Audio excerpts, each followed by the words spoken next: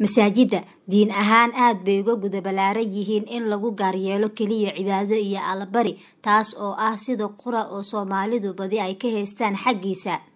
Aminta shanta gooreed oo afar labaatankii saacba ay tahay in la ajiibo baaqa ah in loo kaalayo salaada iyo liibaanta si wadajir loogu oogo salaadaha ayaa ah howsha ugu badan. Mararka qaarna ah midda qura oo masaajidda ay qabtaan dhab ahaantiisa waa iska caadi in masaajid walba albaabada loo ballaqo durba marka la gaaro waqtiyada salaadaha iyada oo isla jeerkaas waqti u dhowna albaabada loo xirayo maadaama aysan jirin howlo kale oo samafal iyo qeyri ah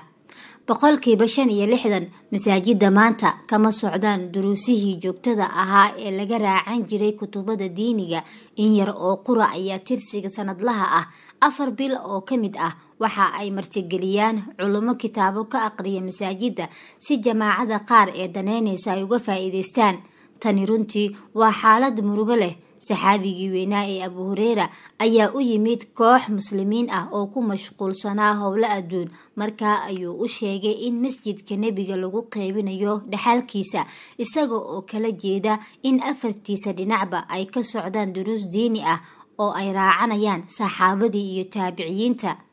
Waana asalka gunta oo masaajidku lagu yiqiin inay u taagnaadaan si loo helo ummad cilmiga iyo cibaadada meel qura ka wada kororsada fahamkii uu gaarsiisanaa kaalinta ay masaajiddu ku lahaayeen cilmiga. Waxaad ka fahmaysaa sida ereyga jeer oo afka qalaad ku ah kursi loogu soo amahday fadhigii shiiqa loogu dhigi jiray gudaha masjidka si duruusta looga yeersado. Laakiin ma ahan oo keliya kaalinta waxbarashada midda ay masaajiddu bixiyaan. Qeybaha kale ee nolosha sida wacyigelinta iyo heshiisiinta ummadda muslimiinta ah ayay ku leeyihiin kaalin caadiyaal ah waana door kale oo maanta aan in badan ka dhex jirin masaajideena. Way dhacdaa in maskiin dabarsanaya loogu yabooho siin yar oo loo ururiyo balse dhab ahaantii wax walba oo ummadda muslimka ah anfacaya adduun iyo aakhiro lagana yaabo in ay maanta agtaada ka yihiin. Qariib ayay masaajiddu u taagan yihiin in ay haqabtiraan xitaa madadaalada cumar ibnu khadaab allah ka raali noqdee ayaa u yimid koox habashi muslimiin ah oo masjidka nebiga nabadgeliya naxariis korkiisa ha ahaatee ku dhex ciyaaraya fallaar qowseen isaga oo caraysan kuna dhahaya maxaad ku dhex sameynaysaan masjidka rasuulka ilaahay? ayuu nebigu ku yiri dhaaf cumarow waxaanu rabnaa in yahuuddu fahamto in diinteenna islaamka ay tahay mid baahiyaha nolosha oo dhan dhammaystiraysa.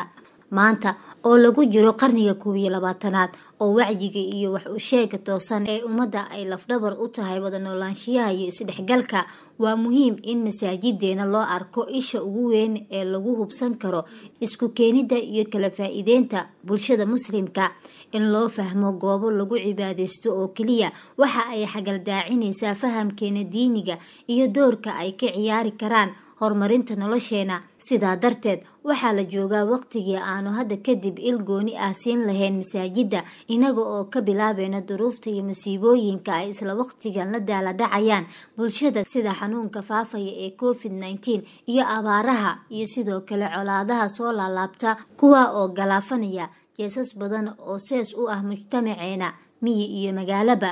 waxaa kale oo laga marmaan ah in lagu baraarugsanaado in keliya muxaadarooyin iyo wacdiga ka jira masaajidda aysan ku filnaan karin dhisida wacyigeena. Waa muhiim in jamaacada masjid walba ay si ficil ah isugu tagaan wax ka qabashada xaaladaha murugada leh ee ka taagan deegaanka sida qashinka iyo bacda balaastikada oo aafo ku ah habnololeedka arlada meelaha kale oo muhiimka ah in looga faa-iideysto doorka masaajidda waxaa laga xusi karaa isku gargaaridda iyo kawarqabka jaarka lana aas-aaso guddiyo kala duwan oo isku dhaf ah kuwaas oo ciyaaraya kaalmaha kala duwan oo waxqabad ficil ah u baahan